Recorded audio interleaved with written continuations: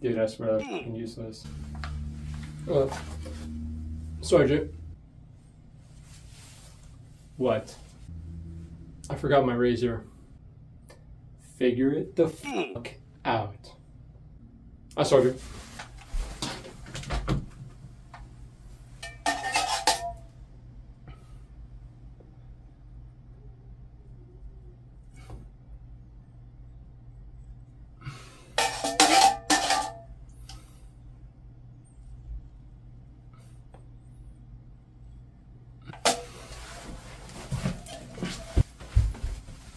Done, Sergeant.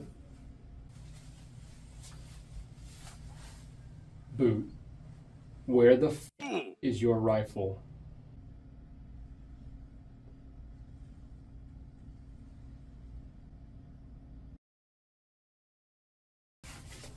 Hey, what's up, Sergeant?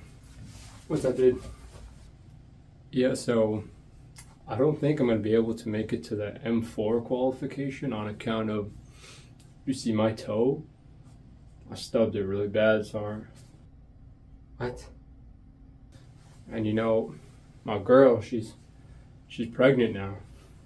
I want to be dad, Sergeant. Also, Sergeant, I think I, I think I need to go talk to CID.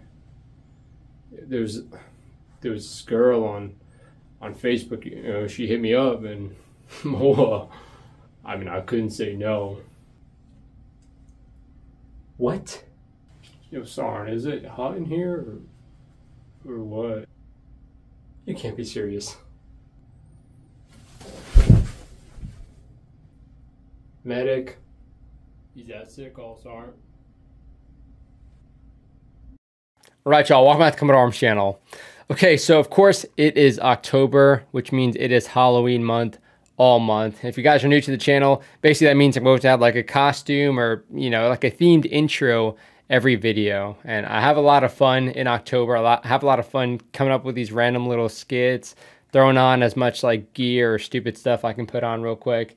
And uh, yeah, it's, it's always a good time. So hopefully you guys enjoy the intros. But today we have a cool video nonetheless. So this is about the U.S. Army's opposing force element out in Germany. So I guess these guys basically support NATO training and they act as the bad guys for these NATO training exercises, which sounds pretty dope. I mean, it sounds like a pretty cool job. Having been stationed at Fort Polk previously, I know all about like the dedicated opposing force elements and those guys they're, they're pretty good at what they do. I gotta say, they piss a lot of people off. And I wonder if these guys are kind of on that same level. But it should be cool. I didn't, I didn't even know these guys existed until I saw this video. So let's go ahead and check it out. My scout platoon from 1-4 Infantry, they have a reputation of a of mythical creature that sneaks up at night and takes things off the battlefield or uh, detains personnel. Uh -huh. There is a thrill to being the bad guy for every NATO exercise, you have two. Dude, and that's true. If you guys have ever been like the OPFOR for any sort of exercise, it is probably the most fun you can have because you usually steer away from like more the traditional tactics and you kind of just, you know, you kind of just send it, which is a lot of fun. It's kind of like organized sending it. I still have some clips from when I was doing like some OPFOR stuff, but I gotta say, yeah, it, it's probably some of the most fun you can have.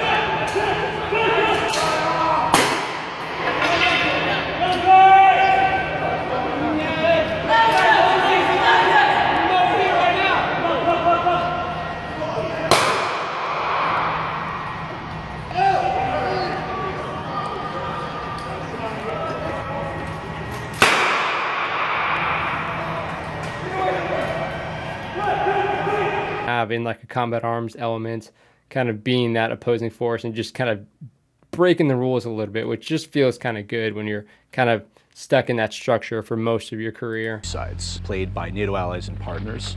You have the good guys, and then you have the opposing force, or OPFOR. They're the hmm. bad guys. Damn, okay. For this music. I'm here at Hohenfels training area in southern Germany home of the U.S. Army's 1st Battalion, 4th Infantry Regiment, or 1-4.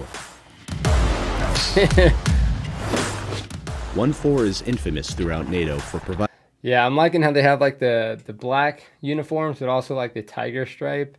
That's pretty consistent for lots of. I, I think even the Marine Corps uses a tiger stripe for their their their OPFOR, which I think is more of like a relatively new unit. Like the Marine Corps has like their own dedicated OPFOR now. Uh, of course, if I'm wrong on that, let me know. But I'm pretty sure that's what I read a couple years ago. Yeah, it's kind of cool to see the unique uniforms these guys rock. Providing a bracingly realistic training experience. Uh, these guys are pretty good at what they do. Join me as I try to get inside the mindset of 1-4. He's got ear pro for blanks. the opposing force. Interesting. I, I guess I can't blame him if he's not used to it. Welcome to Hohenfels, home base for 1-4. I'll be joining them for 24 hours to see how they test NATO allies in an exercise scenario. Only 24 hours? First stop is to get some new threads. And then this just goes clip it, clip it to here. Oh my Got gosh, it. the Okay, Molly cool. is Thank such a nightmare, dude. Just got signed. It's like the opposite of ergonomic. All right, cool. I didn't accidentally just enlist in the U.S. Army, did I? No, you didn't. Okay. All right, Yeah. good. Then You're I the signed on OPFOR to that a has to live in the reconnaissance field. mission With 1-4 scouts. A platoon notorious for being somewhat creative in their methods. I mean, scouts in and of themselves can get pretty creative. Having been in the the recce platoon in my infantry battalion, I gotta say the scouts can definitely get pretty creative in how they do things, how they move around. Uh, yeah, I mean, if, if you're good, if you have kind of good field craft, then yeah, you can you can ruin a lot of people's day, kind of doing what you're doing. Hey, but at the end of the day, it's kind of all about testing their capabilities, testing their discipline, testing their you know command and control. Uh, and these guys probably definitely do that. Our day-to-day job is to be an adversary for ground forces in Europe, driving our allies to think and develop techniques to be better prepared for a, a real adversary if it ever came to that. Our mission Word. sneak up on a NATO airfield and observe its helicopters without being detected by any of the guards. Damn, that sounds fun, dude. The tiger stripe works well enough. We're trying to stay notebook. concealed so they can make a sketch of the airfield. I mean, it's kind of like a really intense game of hide and go seek. Damn. We're sitting here There's not a whole lot of watching them, and they have no idea we're here. not a lot of standoff for that airfield. You got three minutes to finish that one. Doesn't gotta be beautiful. What in tarnation? What is he even drawing? He's got a whole ass notebook too. I've never seen I've never seen someone in the field carrying like a whole like eight and a half by eleven notebook or something. He's I mean, uh, it's not the worst artwork I've seen. With the sketch complete, it was time to make a stealthy retreat. Go through like an open area.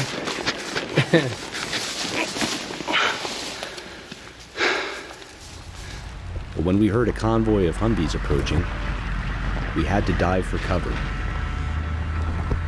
Oh snap. So right now, there are dudes like 10 meters away in that direction. So we're just doing our best impersonation of a potted plant and staying as still as we can. Uh huh. No Then, face paint on at all. Struck. I was spotted funny. by one of the guards. It was the face paint, man. While the rest of the team had made a clean getaway, I was stuck. Bruh. I don't know what to do. Like, now comes the waterboarding. Then help came in the form of an American transport plane. Just make a break for it. I used the noise to cover my escape. Mission complete. okay. Well, okay. The the element got compromised, and I don't know why they weren't just like detaining him or, or something for questioning. But I guess if they did get the sketch and then got out of there, then I guess it's pretty successful. Until I saw the disappointed faces of the scouts. Huh? Did you stop when I called out? Yeah, but then when the planes came over, we split. Okay, Roger. Yeah, they uh, they heard one of us when we got close. They they called out a halt, and then we just kept moving. But um, if you want, I'll send you the pictures and, and sketches we took. Yeah, that'd be good. Uh, We learned something. They were alert. They heard us coming, and um, I don't want to say I compromised the team, but I probably compromised the team. He's never going to leave the wire ego, without face Feeling like now. a liability, I realized I still had a lot to learn about what it takes to play the opposing force. Hmm. I have learned exponentially from allies across Europe uh, in this job. We learn a lot about how we communicate, what's more important to our formations. The winning really comes in the readiness built um, from our NATO alliance here. Uh, when you come to train, uh, you will be better prepared uh, and ultimately be able to deter an adversary when you go back to your home station. So, real quick, because we have a really ad hoc team. Oh, nice, Jack. Back at headquarters, the scouts are getting ready for a night mission. I'm going to tag along and see what they can do under the cover of darkness. So what we're going to do tonight is we call it, uh, it's part of our Special Purpose Forces mission. We're going to go out and conduct raids and attempt to capture valuable assets of the enemy. We're trying to catch people while they're... Okay, now I'm curious. What the heck? They're doing... Okay, so a raid, generally speaking, is going to be some high-speed guys going in, grabbing a high-value target or something, and then bouncing. Or, you know, schwacking somebody, I guess. But so with these guys, as, as an OPFOR, I mean, OPFOR, I've, I've never seen them actually conduct like raids at least they never did it for us, which I mean, I was kind of grateful for, I guess. I mean, I was also in recon, so like if our recon element got raided in our hide site, then uh, we were we must have been really bad. Yeah, I'm interested to see what they're actually going after. I don't think they'll snatch up a person, but maybe like doing some sabotage stuff or grabbing someone's radio and making the commander freak out. We're trying to catch people while they're sleeping and, and test who's actually out there pulling guard. And if they're not, we're, we're going to punish their leadership by taking key assets off the battlefield. Having been spotted What earlier, does that mean, though? I needed Man. all the help I could get and staying out of sight, even in the dark. This is going to be interesting. Um, so the key with applying camo face paint is to break up the form and shape of your face. So we have cheekbones, we have the high points and low points, jaw, um, nose, ears. So what we're going to do is we're going to put the dark colors on the parts of our face that are most likely to reflect there we light. Go. So that's like the high points of your face. Okay. Basically fill in, fill in all the spots. Cool. You look mean. That's the idea. How do I look? You look pretty good, actually. yeah. Yeah, it's meant to break up the face of the human, and now he's just in. Uh, okay. I mean, there's not really any like lighter colors or anything, dude. So I mean, your face is still kind of there. It's just darker now. Okay. I mean, whatever. It looks cool. It's intimidating, especially when somebody just has like super dark face paint on, and then you just see like the whites of their eyes. Especially if you're looking in the tree line and you see that. you look pretty good, actually. Good. Yeah. All right. Got my night optics sorted out. Got my face painted. Bags in the truck. We will Oh, be dude. out all night, seeing how well everybody has set security. So who's Him on the moving menu with nods?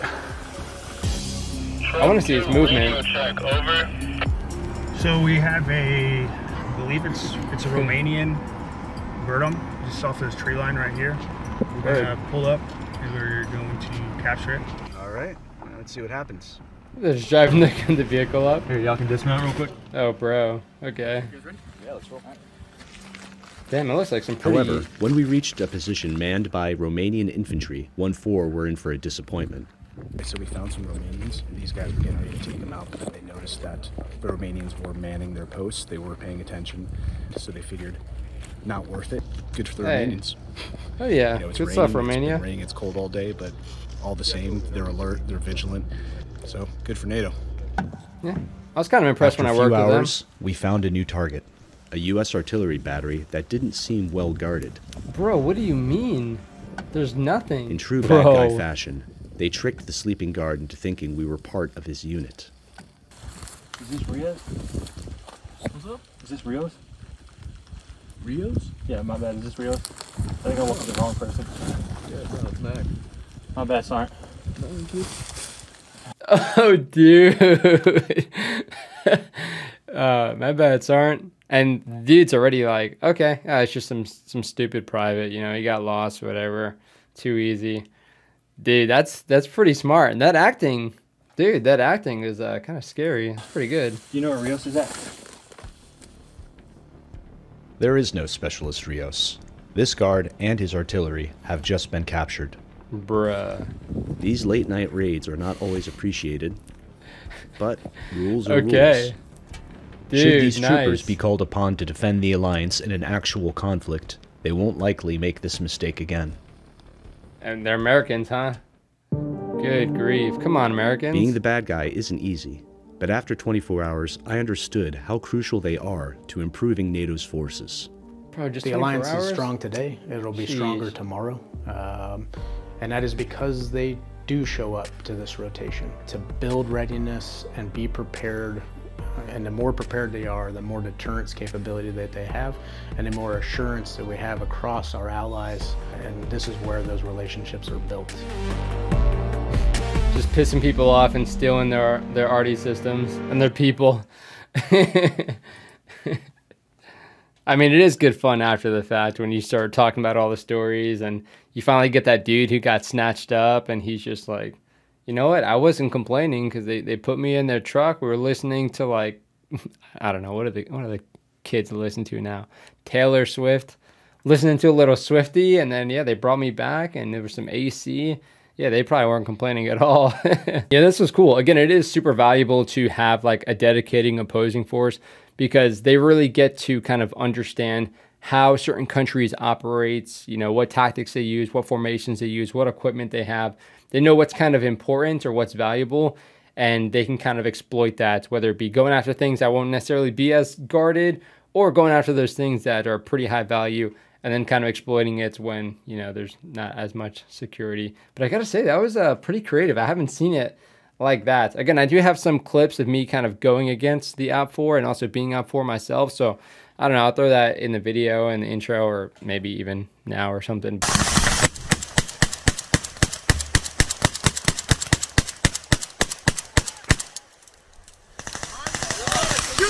Safe to kill. I'm not dead. Wait, really? Yeah. But yeah, it's um it's always a good time to be able to do OPFOR, and it is cool. And these guys are kind of lucky to be in a unit that's just like a dedicated OPFOR, because all the guys that I've talked to that just did dedicated OPFOR, like they they loved it. Some of them some of them were really cool. Most of them were really cool. Some of them, oh my gosh, some of them are kind of like dweebish, you know, like kind of egotistical.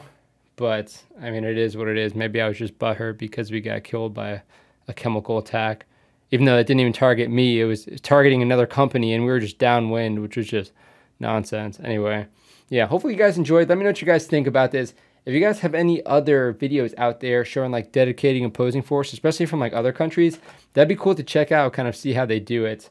Uh, but yeah, I mean, sometimes they get some pretty solid resources, so they can be it can be a pretty scary element. But hopefully you guys enjoyed. Let me know what you guys think. Regardless, if you have anything to recommend, throw it down below. And uh, of course, uh, stay tuned for the Halloween intros. Uh, hopefully, I can get creative. This the the one I did today was was pretty fun. I gotta say. Uh, so yeah, I'm looking forward to that. So hopefully, you guys are too. But that is it for this video. I will see y'all in the next one.